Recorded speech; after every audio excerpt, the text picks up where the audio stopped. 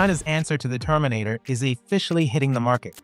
After months of build-up, Engine AI just launched the humanoid robot named the T-800, after the iconic synthetic human from the franchise. Engine markets the robot as a full-scale labor replacement solution, claiming it offers performance above most adult human workers in both strength and endurance, at about a third of the cost.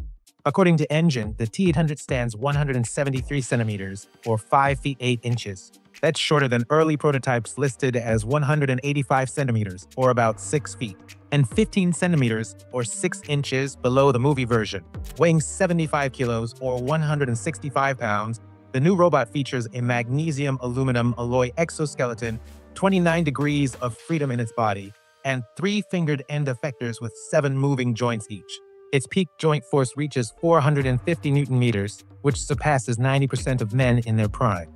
It operates for four or five hours per charge with its solid-state battery, claimed to offer higher energy density, longevity, and safety compared to lithium-ion packs that power most of today's humanoids.